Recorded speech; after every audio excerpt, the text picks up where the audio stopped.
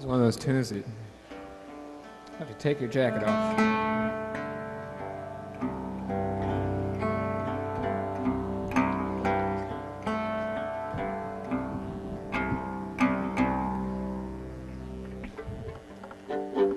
Thank you very much. We're real happy to be here. There's been a lot of musical activity going on in our spheres lately, and we'll just try to get you up to date on some of it. Uh, if you haven't uh, seen either of us before, he's Mike. I'm Darol. And uh, that's a mandocello that he's playing. It's back in the days before, the prehistoric years before mandolins were invented, they, they were much larger.